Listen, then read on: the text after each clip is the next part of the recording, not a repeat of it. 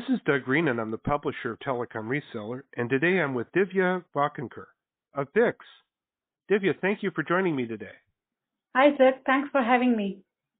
Well, I'm very excited that you were able to join us today because I think we're about to have an update on a long term conversation, a very important topic digital transformation.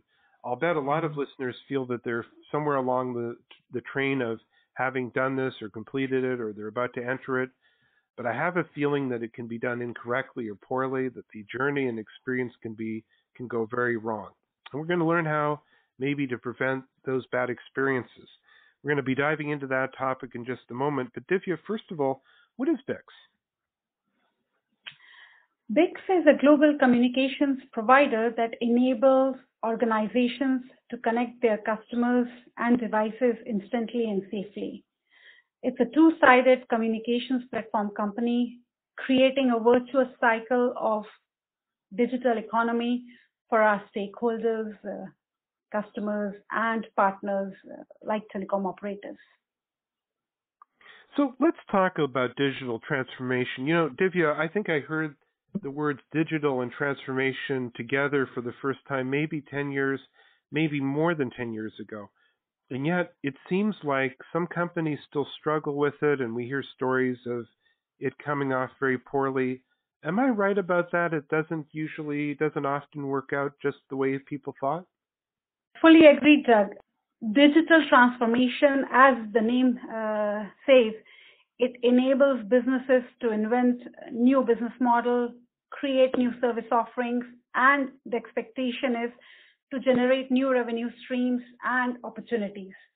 While many times it does not deliver as expected, the customer experience still is poor, uh, the operational efficiencies are not achieved, and there is no connection between the work done within the company and the opportunity that the company has to support its end customers.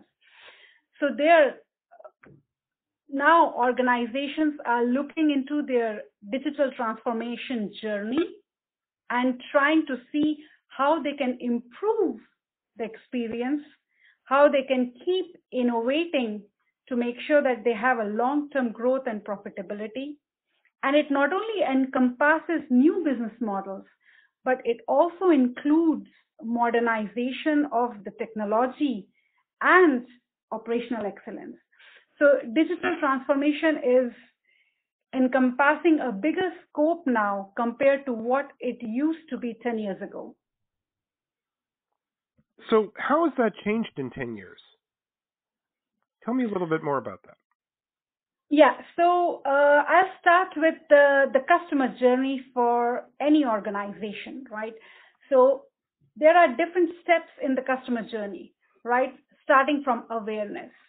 So every company would like to make sure that their customers have a great experience when they are going to do a business with a specific company. So in order to take care of that, they have to make sure that during the awareness phase, they are working towards the customer to make sure that the customer has all the information that they are looking for, for the, from the business.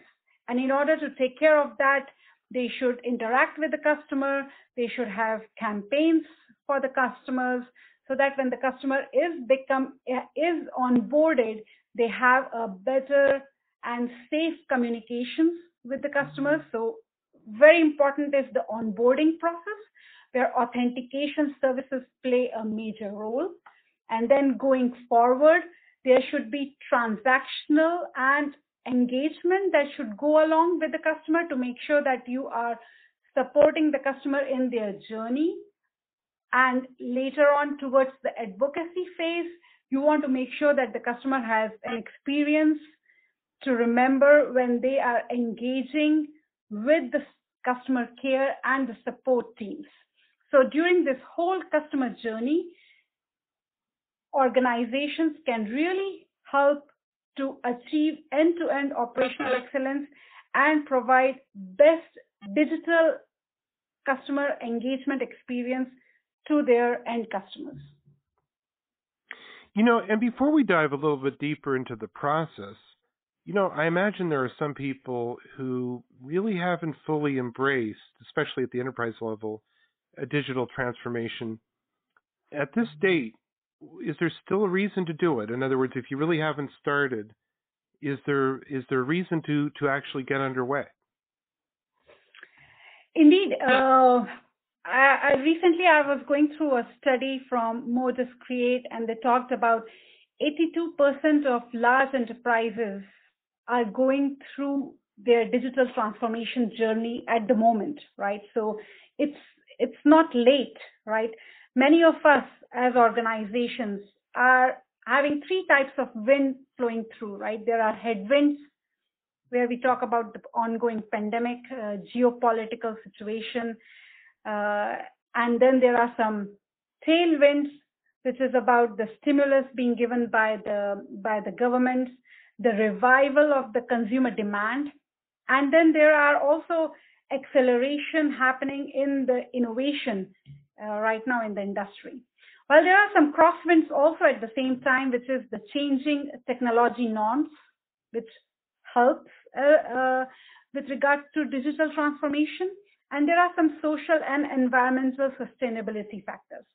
So when when we look at a global picture, right, from uh, with an helicopter view, you can see that today is the time for enterprises to invest in digital transformation so that they can they can benefit from the tailwinds and can create new opportunities for themselves and their customers to make sure that they stay ahead in the game and they have the right business models to support their end customer.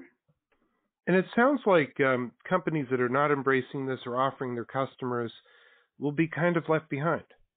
Indeed, the companies who will who are not supporting or who are keeping digital transformation as a low priority in their roadmap, in their digital strategy, would lag behind the competition because the competition is going forward with new technology advancements, right?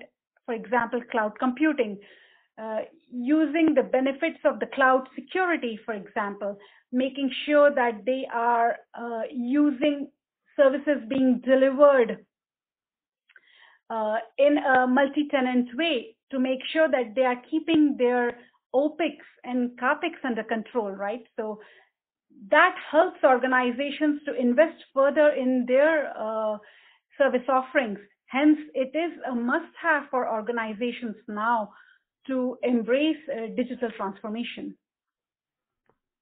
Well, then let's bring BICS into the picture. How can BICS help? As we talked about BICS earlier, BICS is a global communications provider, right? So we have a global infrastructure which is resilient, which is geo-redundant, and which provides a greater quality of service. We enable our customers, organizations with communication and mobility services. We help our customers to engage with their end users to make sure they are supporting their end users in their day-to-day operations. And that goes along from onboarding the customer for utilization of a digital service offered by the organizations to delivering these services or these offering or products in the market to the end users. So just give just giving you an example.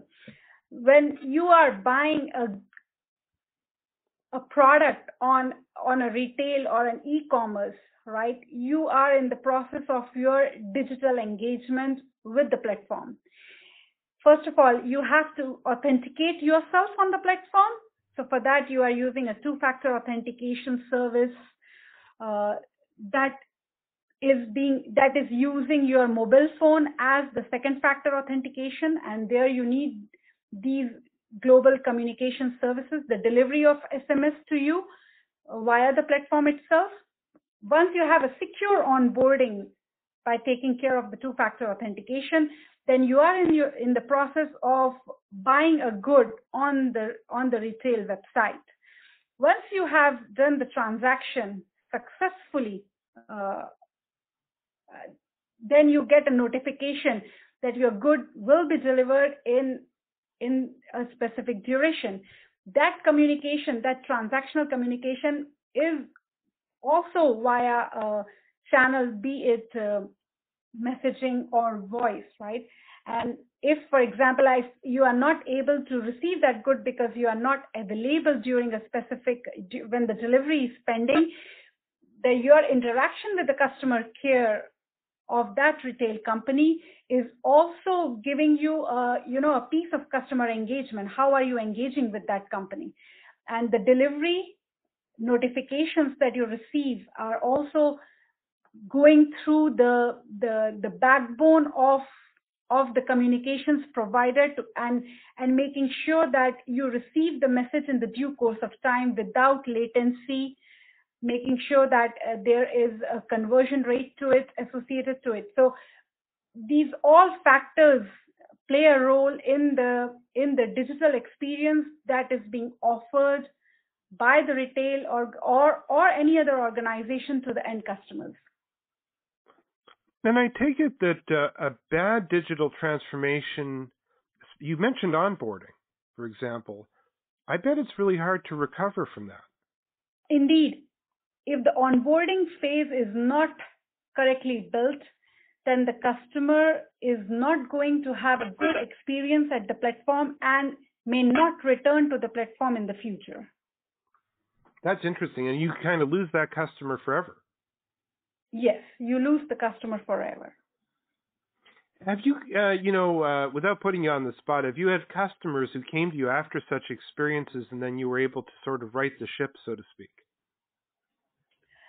Indeed, there have been a couple of instances where we have seen customers really looking forward to uh, quality of service as the main criteria for selecting a vendor for communication services. Why? Because quality of service includes how the message or a voice communication is being delivered to the end customer. If there is a delay, it is also a bad customer experience and you lose your customer forever. If the message is not delivered at all, that also hampers your relationship with the end customer. So it's it's critical to make sure the service provider delivering these communications to the end customer is providing quality of service, making sure that there is least latency, high delivery rate, and provide you the mechanism and the analytics to see how your business is engaging with the end customer with a reporting system, for example. And you know, it sounds to me, Divya, that these this level of detail can only be achieved with with a partner of some kind. In other words, you know, in our industry, there's often a temptation. We have a lot of very capable people. They try to do things on their own. Are you making an argument here? Bring on a partner. Customer engagement can only be delivered by ecosystem of players, right? Every vertical can focus on their core offerings and can leave the customer engagement enablement for the partners. There are partners in this ecosystem like BICS and other companies who have the capability to deliver the services to the end users and work and create a virtuous cycle actually between the organizations, the digital platforms, and the end user and their devices. And they can they can do it at a very efficient speed and at a very uh, you know keeping it simple end to end. So, Divya, I want to thank you for joining me today. This has been a very interesting conversation about digital transformation. And I understand also that you have some important news coming up the next quarter. Uh, yes, Doug. Uh, we are launching uh, Microsoft Operator Connect voice enablement. So BICS is uh, going to launch it in the next uh, quarter. Also, BICS will be launching a communications platform as a service, which will help our customers in their customer engagement and digital transformation journey. So uh, keep uh, keep tuning in. Well, it's always a pleasure to podcast you guys and to share with the CCA and TR communities the latest news on BICS. I feel I've learned a lot about digital transformation, and I think you've given us uh, some uh, things to think about as a lot of people continue on that journey.